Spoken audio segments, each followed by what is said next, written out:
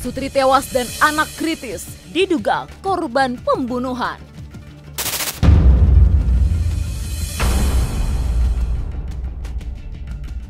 Warga Kelurahan Arale, Kabupaten Mamasa, geger. Dua orang warganya yang diketahui merupakan pasangan suami istri ditemukan tewas mengenaskan di rumahnya. Diduga menjadi korban pembunuhan.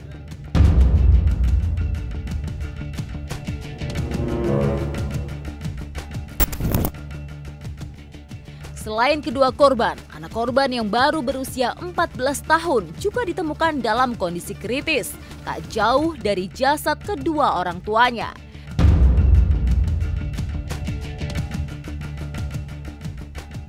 AM, anak korban yang paling tua, tak kuasa menahan tangis mengetahui tragedi yang menimpa keluarganya. Apalagi AM diketahui menjadi orang pertama yang mengetahui peristiwa berdarah yang terjadi di rumahnya.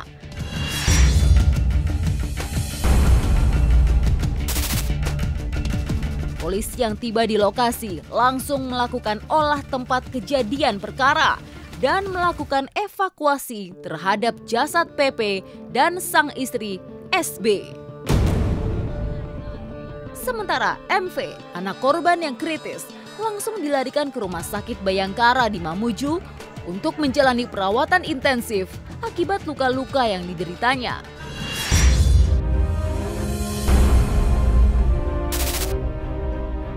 Peristiwa berdarah ini pertama kali diketahui anak korban AM yang langsung meminta pertolongan warga begitu mengetahui kedua orang tuanya tewas dan sang adik kritis.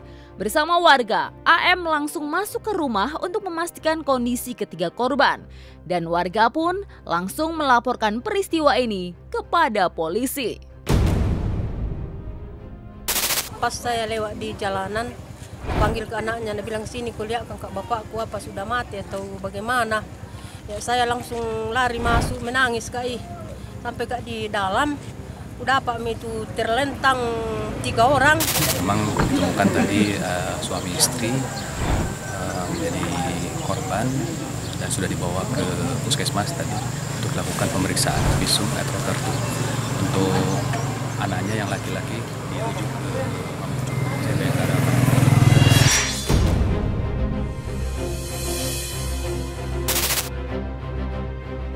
Hasil olah TKP, petugas menyebutkan kedua korban tewas menderita luka serius pada bagian kepala. Meski demikian, polisi belum bisa memastikan motif pelaku tega berbuat keji pada para korban. Apakah murni pembunuhan atau tindak perampokan?